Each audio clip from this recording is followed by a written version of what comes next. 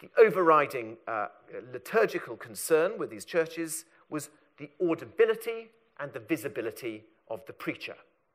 The need to have clear lines of sight meant that obstructions such as pillars weren't favoured, and large, undivided spaces were the goal. There was a model of such a church that Wren and his team could look for. It was built before the fire. This, of course, was Inigo Jones's St. Paul's Covent Garden, the first new church in London before the reign uh, of Queen Elizabeth. And this had to uh, grapple with the issue of a new type of space for the Anglican tradition. It was basically, many of you will have been into it, a single room. And its pulpit was the single most uh, expensive um, fitting. So the city churches uh, took this as their model.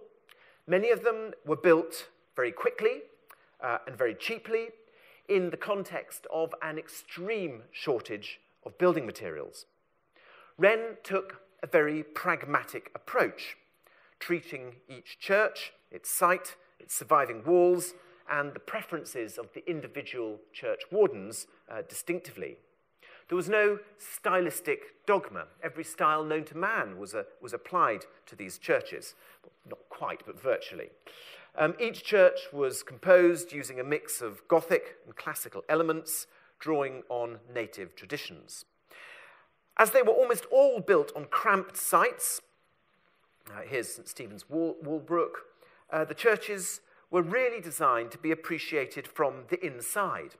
Externally, uh, they were plain, and generally they had a single show front, just one bit where the money was put to, um, to show off.